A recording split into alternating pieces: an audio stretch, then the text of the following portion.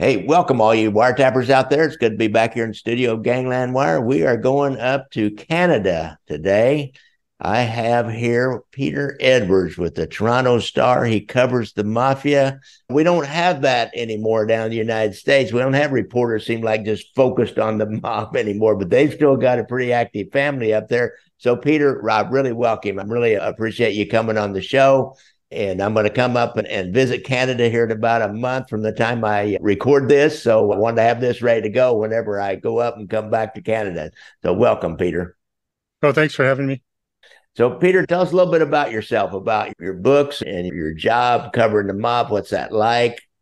So, I, have been at the Toronto Star for a long, long time, and I've specialized in organized crime. I've done, I think, a dozen books on organized crime, including an encyclopedia with another reporter, Michel Auger, who actually was shot by the Hells Angels, very brave guy from Montreal. And then I've done six other books on other topics. We see a lot of connections. Like I'm constantly talking to people in Vancouver or Montreal, even though I'm in Toronto, because a lot of our organized crime people bounce around between the cities or they subcontract someone from another city so that it's harder to trace them down. Mm-hmm. And so with the internet, what we're finding is that the old mob families, they Montreal was like a Bonanno city. The old mob families if they want to do well, they've got to work with these newcomers, and there's a lot of newcomers. So we're getting all these alliances now. It's not as strict family lines as it used to be. Interesting. Yeah. If I remember, it was the Cotronis and like a Sicilian family, and then the Rizzuto, Vito Rizzuto, and his crew took over. Kind of bring us up to date, kind of a little bit of the history of the Sicilian mafia in Canada. So in, in, the 1950s, a guy, Carmen Galante, came up from New York. He's a really tough guy with a pretty serious ambitions. He organized the Montreal mob a fair bit. There was one guy, Vic Cotroni. He was the eldest of a group of brothers. He took Vic under his wing. Vic was Calabrian, but he got along with Sicilians, and New York City is more Sicilian. A lot of Canada is more Calabrian, especially around Toronto. Vic Cotroni was smart enough to adapt to get along with Galante, which meant getting along with the Bonannos. When Vic eventually uh, passed on, the Rizzutos took over, and the Rizzutos are Sicilian. A lot more things got pretty nasty at that point. There was quite a bit of killing. Uh, Vito Rizzuto, who was the uh, big mob guy up here for a long, long time. I'm very good at corruption. I'm very good at infiltrating the system. He ended up going to prison in the States for his role in three murders in New York. And when he got out, there was a big fight for control of the Montreal mob again. Yeah, that was so interesting when I first learned that that they bring this mob guy down from Canada from Montreal to participate in arguably one of the at the time one of the most dramatic and biggest murders in mob history in New York City. I mean, before Paul Castellano, the murder of the three capos, that was huge. That was like unbelievably huge to do that. They'd never done anything like that before. Bring this guy. I guess maybe they brought him down to help kind of like keep things confused. The mob always likes to keep things confusing for law enforcement. I don't know if you've ever noticed that, but they like to throw a lot of stuff out in the game and keeps everybody off balance a little bit and confusing. I just was amazed that they brought a guy down from Montreal to do that. Yeah, we're finding that now too. I mean, that's what I'll be working on this week and the next week because there's a lot of subcontracting. So the mob will want someone bumped off, but they'll contract a street gang guy to do it. And the street gang guy might not even know the full scope of what he's doing. He's just killing someone for a generally not as much money as the other ones would charge. And we're getting Montreal mob guys hiring street gang guys in Toronto to do things for them, a lot more crossover. Meanwhile, the Hells Angels have risen up. At the start, they were like the guys who did the heavy lifting for the mob. Now they, they'd be equal. Like now, the Hells Angels are just as big of a deal as the mob, in my opinion. Oh, really? Wow, that's amazing. How does that work between the two? The Hells Angels historically were a bunch of thugs, wore crappy clothes. I mean, that was part of their thing was to have the dirtiest clothes of anybody and look the scruffiest. Where on the other hand, the mafia guys, they're always like look clean and squared away. Back in the day, they'd wear suits and gold jewelry and everything. How did they ever get together like that? And the Hells Angels seem so uncontrolled, where the mob is so controlled.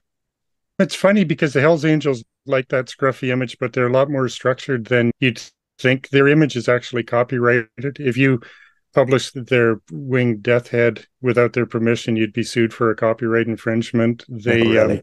um, their name you couldn't have Hell's Angels ice cream without being sued. They're actually pretty litigious. They like the tough image because it gets some people to underestimate them and some people scares them. And it was true back in the 60s and 70s. And Hunter S. Thompson wrote a great book about them. Yeah. But the ones we have now, they're, oh, I'm looking at cybercrime. I'm looking at those guys. I'm looking at lots of things involving the internet, those guys. I'm looking at shipping through the port of Montreal. And if they aren't doing it, they're kind of allowing it to be done or thinking about doing it. There are parts of Canada that don't have a really big actual mafia. And so people who normally would be inclined to go into the mafia go into the Hells Angels. There's a kind of a wing of the different gangs in BC who, if they had been brought up in Ontario, would have gone into the mob, but instead went into biker groups. Interesting. They don't really ride motorcycles. Like the motor, a lot of these guys don't know any more about motorcycles than my grandmother did. yeah, you got a pretty short riding season up there in Canada. I ride motorcycles, and you got a real short riding season up there in Canada.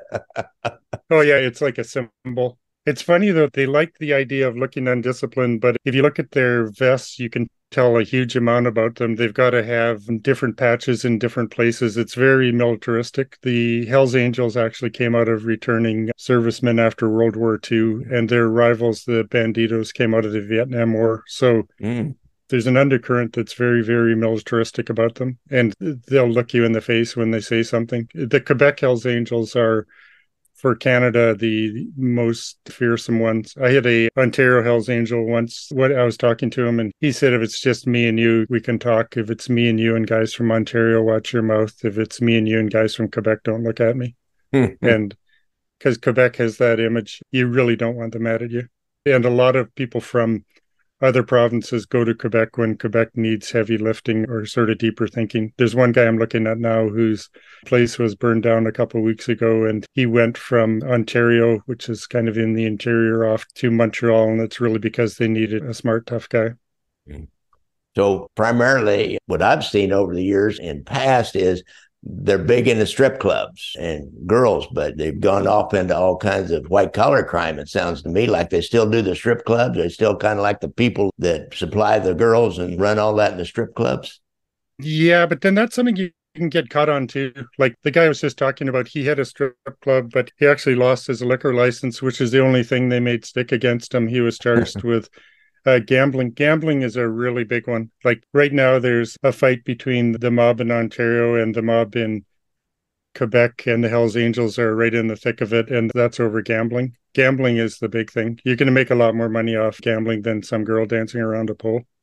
Interesting. So, is there like a particular figure? How the Hells Angels in Canada is organized by province or by city? and they have chapters and so it's funny because a lot of the chapters are in university towns. If there's a town with two universities there's going to be a hells angels chapter. Uh and generally fairly well off places and a couple of weeks ago they had a national run where they forced them all together but it's kind of like an awkward family picnic where people don't always get along. And so but it is a bit of a chance to mingle. Police love those things because it's a chance yeah. for them to see who's on the way up, who's on the way down, who's getting more respect than who else. I'm very interested in who's working on the docks, who has control of the docks. There's uh-huh. a lot of stolen car theft up here, and I'm trying to find out how much these guys are, are doing in that.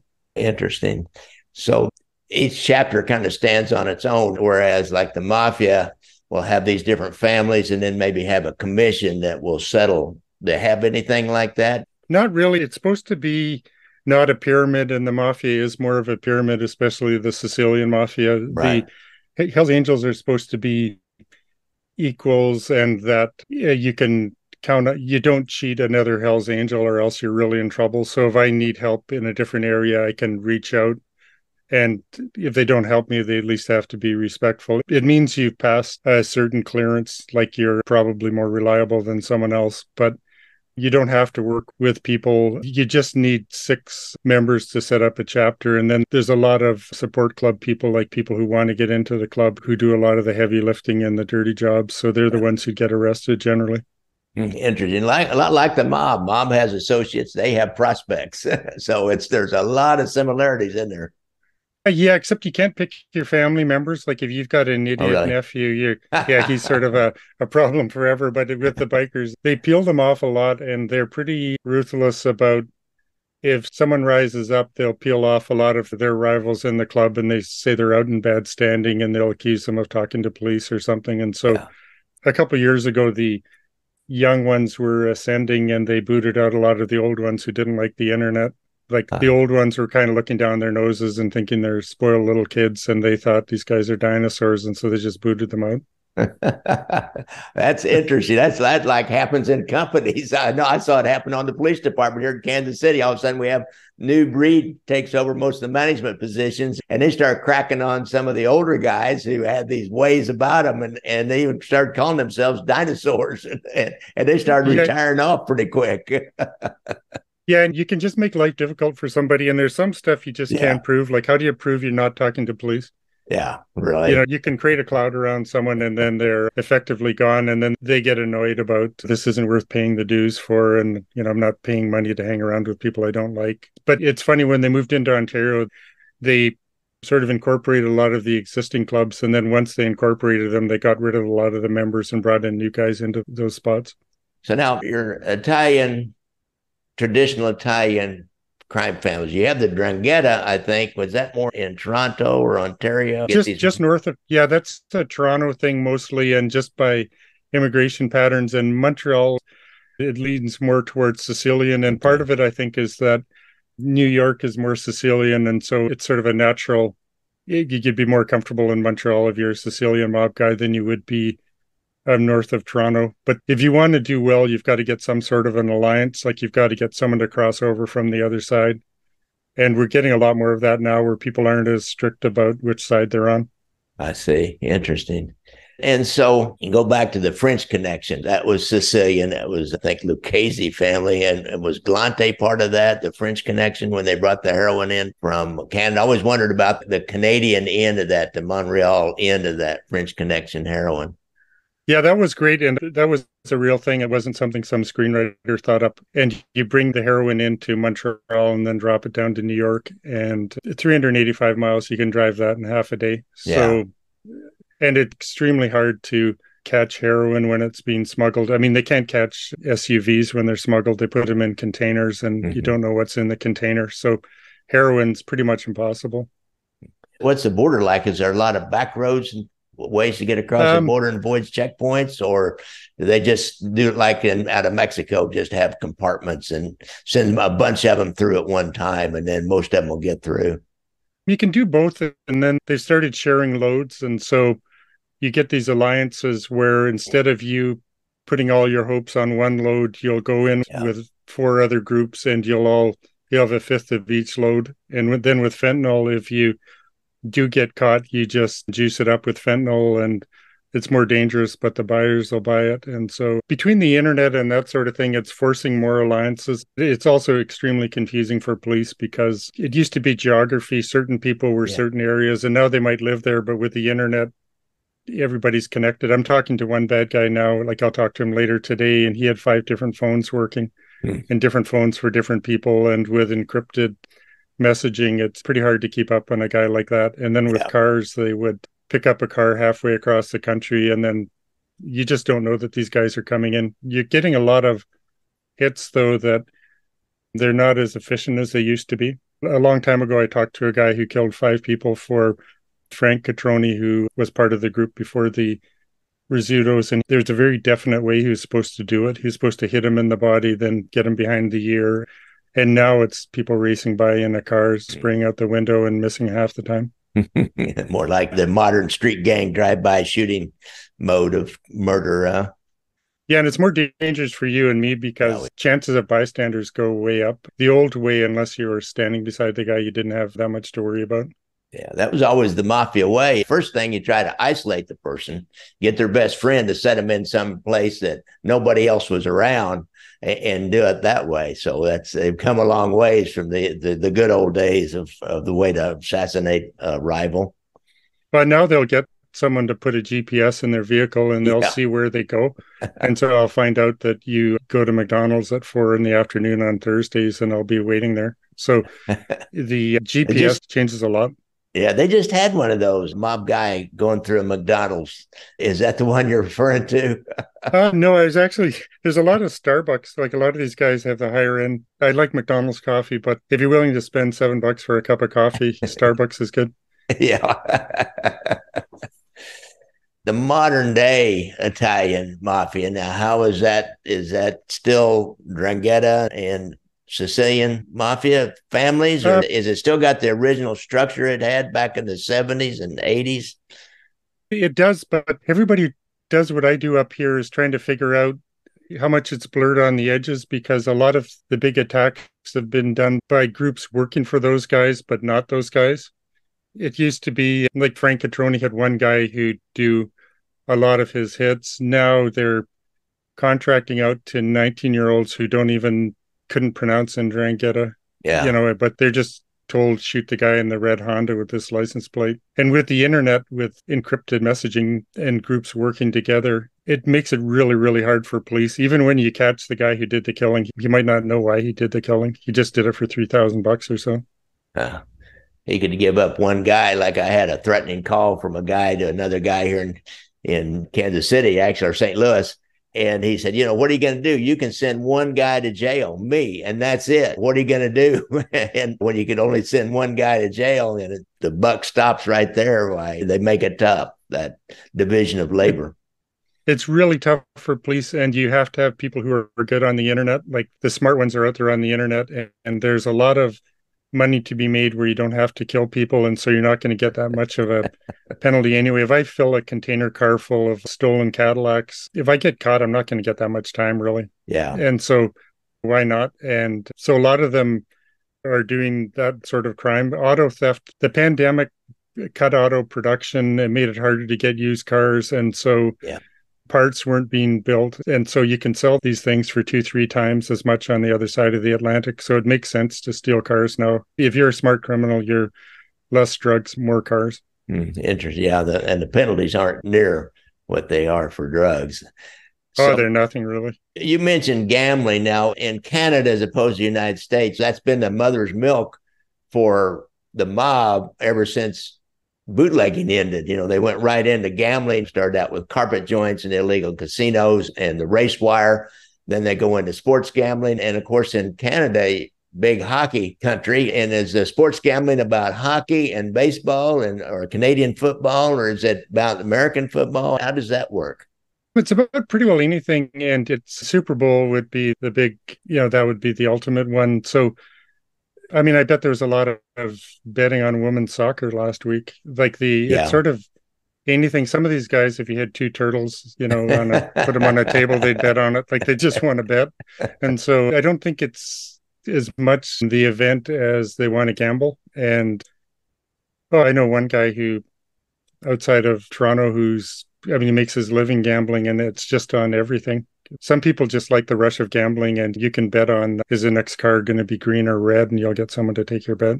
Does the Bob family like? Are they organized like for sports gambling, like just for maybe football or uh, like in Kansas City? I'm just only can relate it to what my own experience here in Kansas City. They really highly organized around football all the way up to and including the Super Bowl and this international way to lay off bets if you got your books out of balance, so to speak, and, and you wanted to lay off some bets to another city so you could balance it up. Did they do traditionally that kind of a thing, the mafia?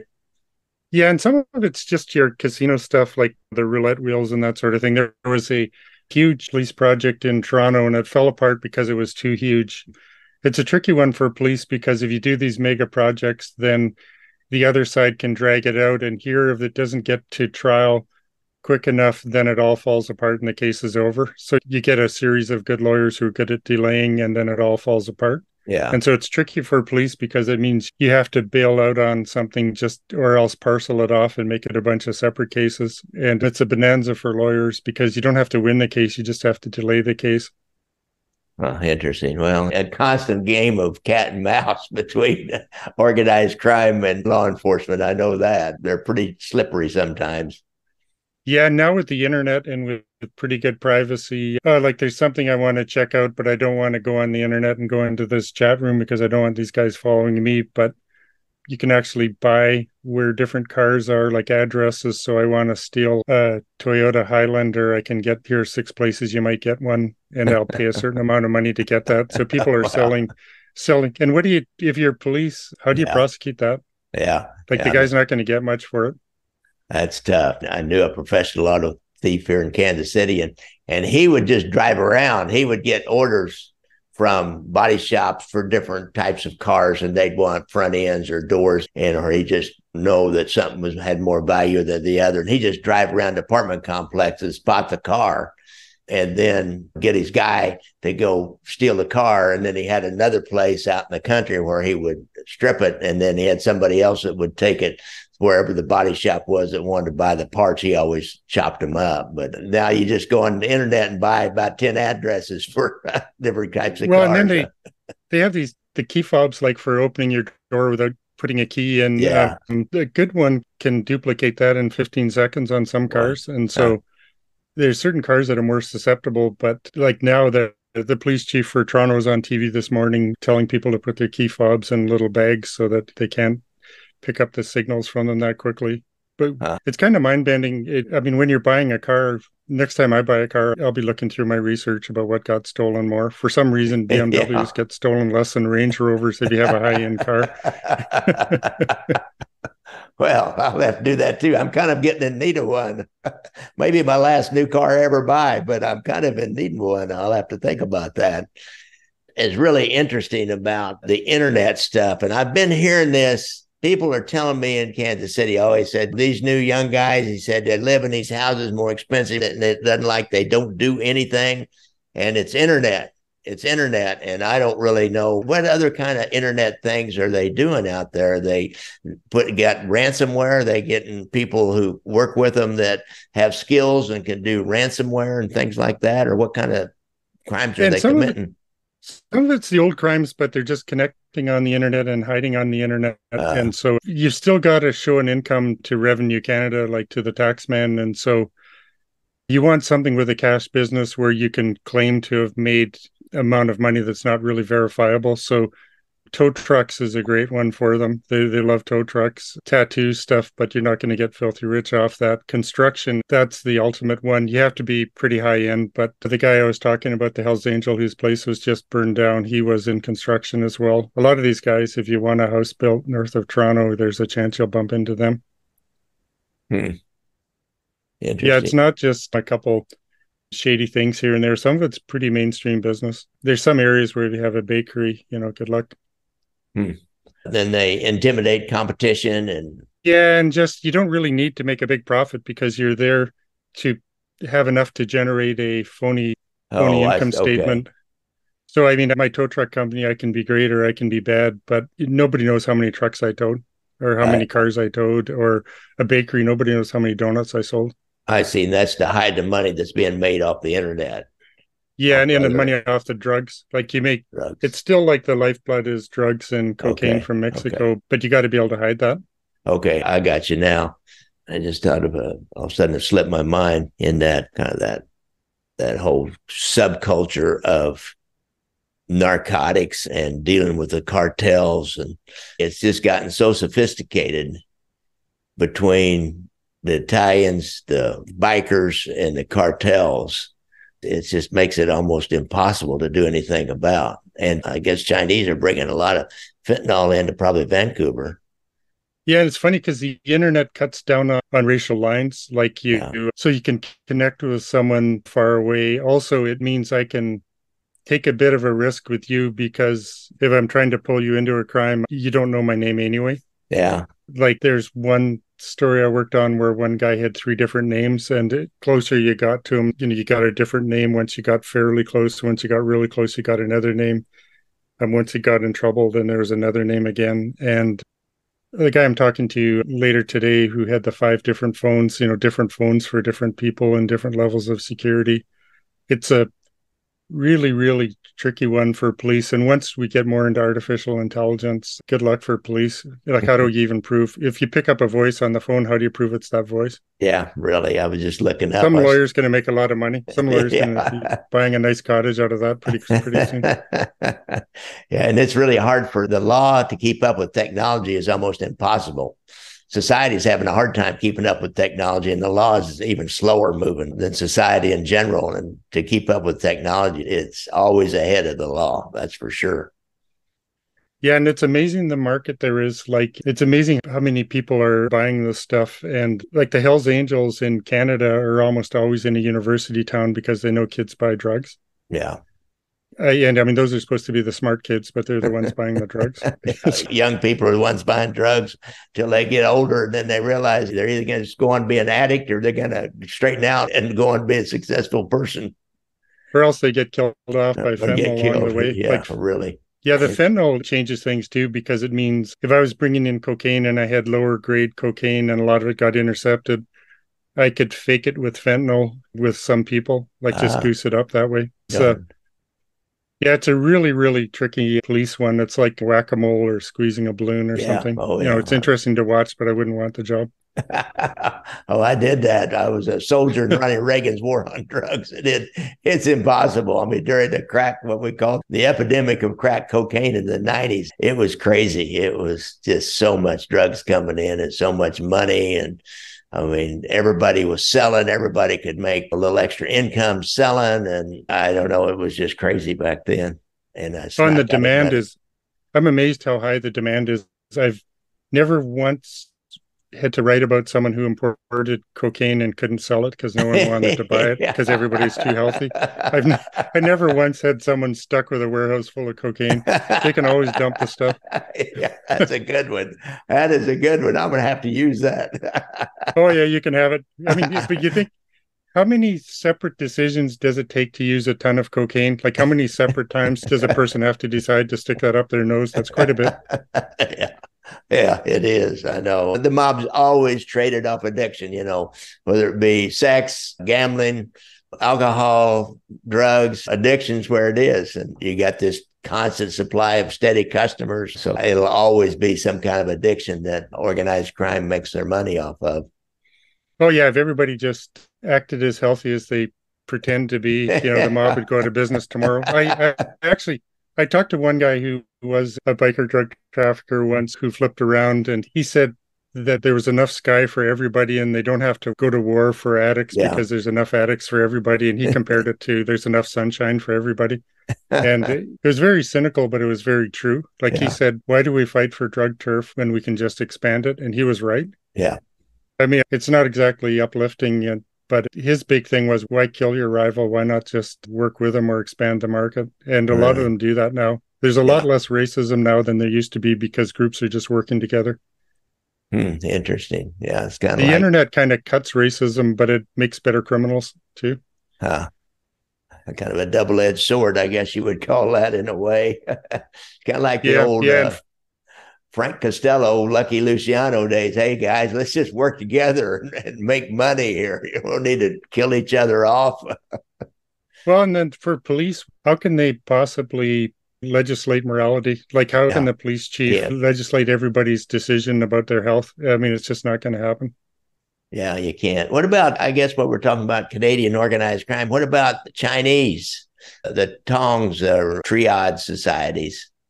That stuff's still around, but it's lower profile. And what there is doesn't need to be as splashy. A while ago, about 30 years ago, there was quite a bit when there were different groups coming in, and some of the older groups were fighting with some of the newcomers. Now it seems to have blended. And like the guy I'm talking to today, he was part of something called the United Nations, and that was a gang that took in every group. And mm-hmm. so you could be from those groups or any other group. And if you were a moneymaker, then they wanted you because you gave them more ways of bringing things into the country and you gave them more markets. And so the smart one, the sort of the short answer is the smart ones work together or else are extremely airtight where people just can't get in.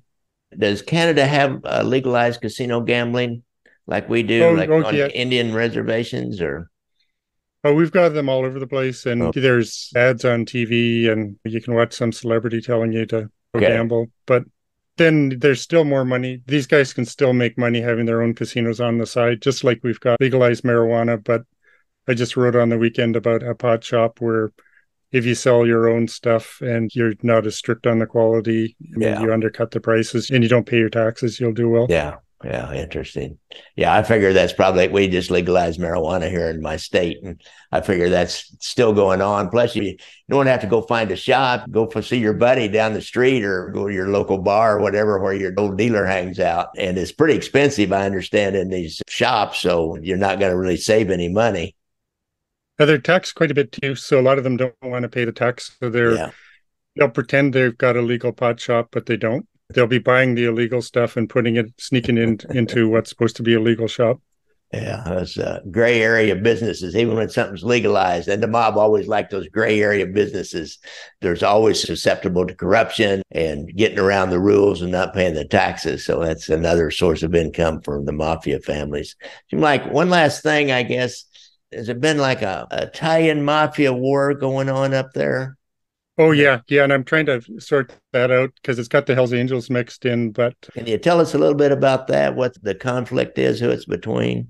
A lot of it's over gambling. Who gets to control gambling in Montreal? The Hell's Angels seem to be getting along with the Toronto mob and the leftovers of the Rizzuto family, which was just absolutely huge up here. They're under attack. There's a lot of back and forth between Toronto and Montreal, and there's a lot of biker involvement. I mean, that and car theft are the two things I put most of my time into. And everybody kind of has an idea, but it's not totally strict. Like you don't know who's crossed the line and they're working with the other group. And some people mm-hmm. float back and forth, and some people are just waiting for a winner. But yeah, every two or three weeks, someone gets shot in Toronto where it's got a Montreal connection and you're trying to sort it out, and there's some street gang guy in the middle. Oh, interesting. All right. One other question. Did you ever see the series Intelligence? No. Cana- yeah, the Canadian hmm. series. It was good. It was good. I, I was in the series called Bad Blood, which yeah uh, on Netflix. I was really happy with that, and it was funny because some mob guys talked to me about that, and one widow of a murdered mob guy at first was angry about it, and then she bonded with the female character, and then she became a big fan. So it, it was, and and then you get all these guys popping up saying they want to tell their stories, but they don't really want to tell their story because yeah. they'd have to tell the bad stuff. Like yeah. you'd have to tell all the bad things you did. They want to all just be Al Pacino looking profound, you know. That's true. Yeah, that Bad Blood was a good one too. That Intelligence, it was kind of a short-lived series, two seasons, but it really showed the law enforcement aspect of it as well as the biker gangs and the marijuana dealer and, and dealing with the different blended kind of gangs in, in Vancouver. It was so believable from the police standpoint because I've been there and, and, they really did a good job at it. And they made the big pot dealer a pretty sympathetic character too, which helps, but it was really good.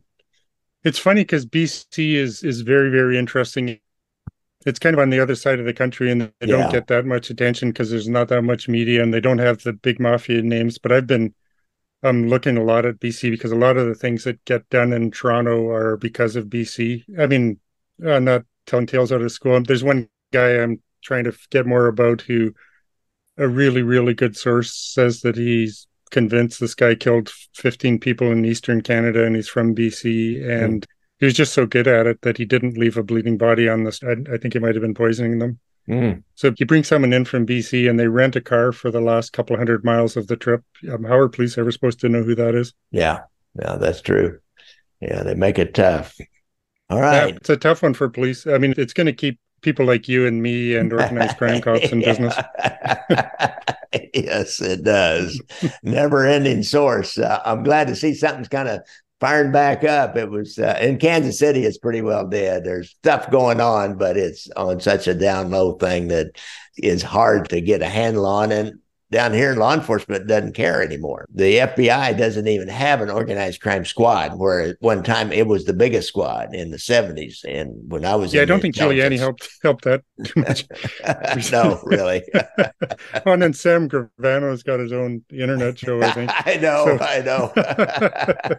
how do you figure how you Rudy Giuliani has got a mugshot and Sammy the Bull Gravano has got his own really success him and Michael Franzese got really successful internet shows. Now go figure that one. one thing, just sort of a, I know you're winding down, but one thing I'm watching for that I think we'll see in the future is more women. Oh, like really? the one I was chatting with this week. She's very, very smart, and yet she didn't know how her husband or her boyfriend got her the new car, and she got mad at him because it was the wrong color. But he all of a sudden had money that for anniversary gifts he's giving her eighty thousand dollar cars, and there's a lot of women up here they don't quite have the ego that the men do and so instead of thumping their chest when they get caught they cry and say i never knew i was connected to him because of love you know i was blinded yeah. by love i'm getting a, i'm seeing a lot of this blinded by love stuff which... yeah that's a pretty good way out of it isn't it oh yeah get know. a dumb get a dumb guy to do the heavy lifting and then cry i mean it's it's not a bad thing really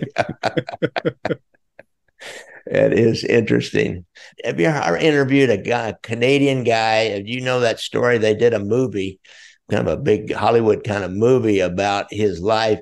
He was a small time heroin addict and dealer, and a guy set him up with a RCMP, and then they wanted him to go to Southeast Asia and do a big heroin deal, and he couldn't really do it. He wrote a book. His name was Alan de Leon, and um, no, but I, I mean, it's that's a really interesting one. Like I, it is. They did I, some really good, really good undercover operations, like stuff out of movies. Yeah, really. This was too. I think they bit off a little more than they could chew and pushed the window of the envelope. According to him, I had him on the show. He was really interesting guy. Has an interesting story.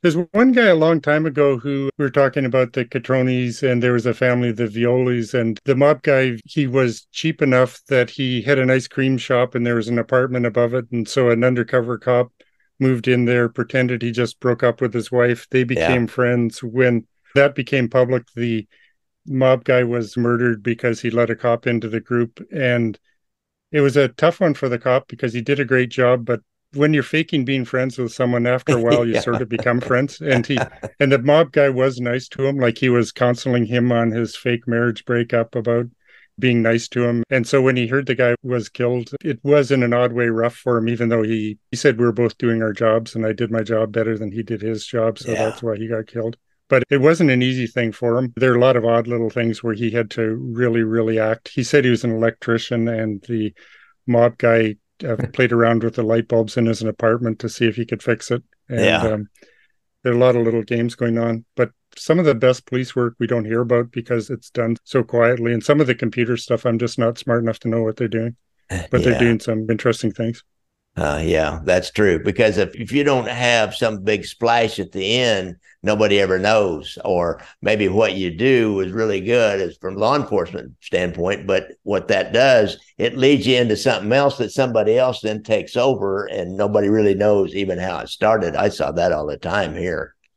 Yeah, and in the media, we're triggered by the victim. Like the reason we've done so much about the Hells Angels is because they killed an 11 year old boy. And then for me oh. personally, a friend of mine who I did a book with, he got shot by uh, seven times by someone connected to the Hells Angels. So that gives you a grudge against them. Oh, really? Huh.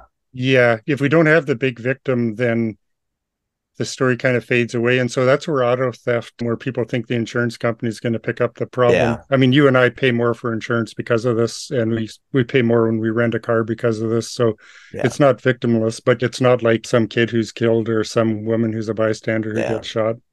God, your friend that, that got killed by somebody connected to the Hell's Angels that you'd written a book about it. Was it directly connected to that somehow, or did he um, did he like get too close to somebody? And it was odd because he got shot seven times, but they didn't kill him. And then oh, yeah. he and then he he was going to retire, and then he was tough enough, Michel Auger, that he didn't want them to think that they made him retire, and so he okay. stayed on the job longer. Like they actually pushed him to work about two years longer. and then I remember talking to one Hells Angel in Ontario, and he was uh, trying to be friendly. And I said, You guys shot a friend of mine. Why should I be friendly with you? And he said, No, no, no, no. That guy's brave. That was Quebec that did it. It was considered over the line and it brought a huge amount of attention to them and it's maybe something it's an odd one for the media but the media was a lot more active that we either don't cover this stuff or we cover it better. And so that pushed up the level of crime coverage. It was kind of odd because the guy got shot in the 70s named Charbonneau. He went into politics and became a big deal. So if they take it too far and shoot the wrong person, it actually swings back on them. I kind of use that. Like if I'm talking to a bad guy every now and then, I'll remind them that something bad happens to me. That the paper you just saved them having to lay me off. but, yeah, but they'll, pre- they'll pretend they're a lot more upset than they probably are. yeah, see, we always depended on that. That even today, I depend on that somebody gets mad at you, and I have relatives get mad at me and send me emails or make nasty comments about what I'm talking about, one of their relatives or their long dead relatives many times. But we always depended on that, that the heat that will come down as a result of any action against a cop or a newsman or something, the heat that will come down is not worth the trouble that, to do any harm to you. Even think about it. I know if I'm talking to a bad guy, I'll say I'm not worth 25 years, or I'm flattered if you think I'm worth 25 years. Really? yeah they've, they've long forgot about the Investigative Reporters Association out of the Don Bolles killing down in Arizona. I don't know if you remember that. But oh yeah, yeah, that was yeah, yeah. Up here, a lot of it. It's kind of odd too, because some of the bad guys don't really mind me doing what I'm doing because you need a scorekeeper. Like you need someone to like like yeah. they they don't know what's going on either. Uh, like they sort of do, but it's almost like you're watching a parade through a little hole in the fence. You only see a bit of it. Uh-huh. And so they kind of are curious too. I had uh, once two guys in one mob family were furious at me, but their uncle liked me and he didn't like his nephews, but he'd never say it publicly. And so he kind of, in an odd way, looked out for me with, you know, unofficially. And I remember there was a funeral where I said, I'm not going to go because those guys will be there. And he said, Don't worry about it. You know, they won't. And I know they won't. And don't worry. And it's sort of odd because people are a lot more complicated than yeah. we give them credit for. Yeah. Yeah, well, yeah. I've gotten to know a couple of guys, and one in particular I've become really good friends with that was basically an associate and did some time, did a bunch of time really, and came back out, straightened out his life, and we become friends. And he talks, and he still knows a lot of guys that are kind of really closer to life. And you realize how everybody have wives and families and it's one thing that's always found interesting about organized crime is they have this whole other life and then they go to work which is yeah. this other life this whole dichotomy that is just almost hard to believe sometimes.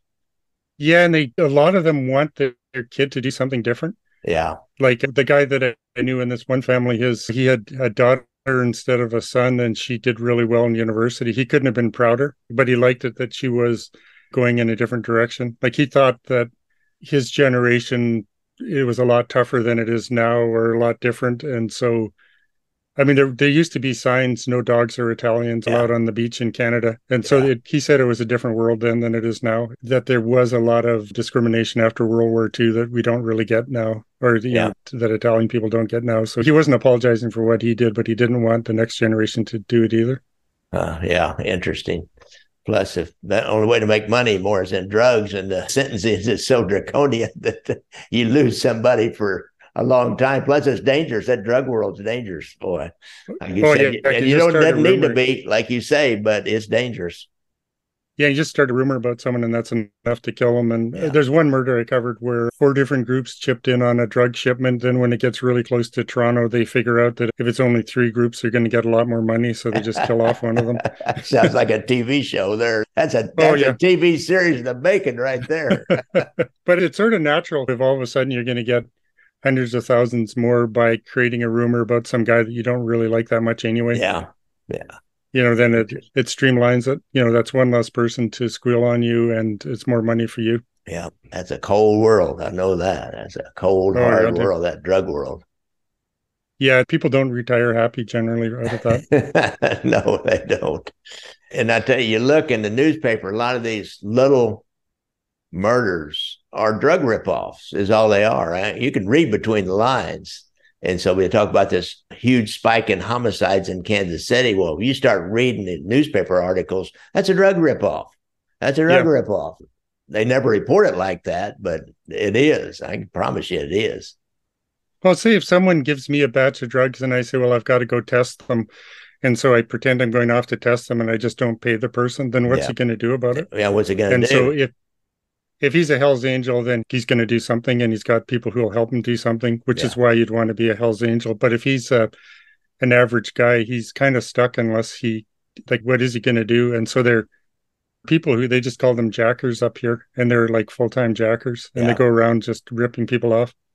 Yeah. And then I'd hijack it and sell it to someone else. And so the other criminals kind of like me because I'm giving them discount drugs. it's a crazy world, but it provides work for guys like me and you, doesn't it? oh yeah, yeah. And it's sort of weird. In my job, I just stumbled into this stuff, but uh, it just goes on forever. Like you never run out of ideas, and you never think, "Oh, I've heard it all now." Like there's always something where your head's kind of shaking. really. all right, Peter Edwards from Toronto, Canada mafia reporter. I really appreciate you coming on the show, Peter. This has been fun. Oh, that was fun, and you you obviously really know your stuff. I really enjoyed that. well, good. Let me do a little ending stick here, and I want to talk to you a minute. Okay. Well, guys, y'all know that I like to ride motorcycles, so watch out for motorcycles when you're out there on the streets. And if you have a problem with PTSD and you've been in the service, go to the VA website and get that hotline number. There's help available. If you have a problem with drugs or alcohol, Anthony Ruggiano he has a YouTube channel and I think he has his own website and he has a hotline number on that website. And he does alcohol and drug counseling down in Florida. So if you want to go into treatment, you maybe have a real ex mob guy be your counselor, which I think is pretty interesting. So be sure and like and subscribe and give me a review once in a while. And look down in the show notes for links to Peter Edwards' other work. So thanks a lot, guys.